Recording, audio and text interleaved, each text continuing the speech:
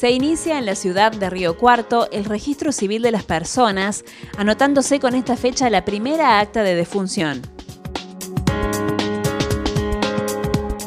es decretado Monumento Nacional el Cabildo de Buenos Aires, reducido por la demolición de algunas arcadas al abrirse la Avenida de Mayo y la diagonal Julio Argentino Roca. Muere el escritor y ensayista Raúl Escalabrini Ortiz, autor de El hombre que está solo y espera, radiografía porteña del hombre de Corrientes y Esmeralda.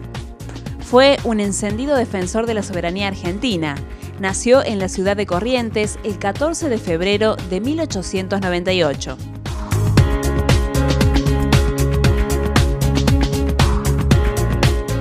Día Nacional de la Donación de Órganos.